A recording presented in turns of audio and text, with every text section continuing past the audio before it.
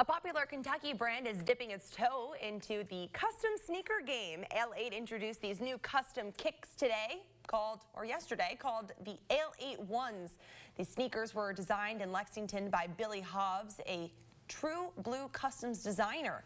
An auction is currently live online to bid on the shoes. It will close this Sunday. Ale8 says 100% of the proceeds will go directly to Eastern Kentucky Relief Funds. Winners will have the chance to meet and get their shoes signed by Kentucky quarterback Will Levis at a fundraising event next week.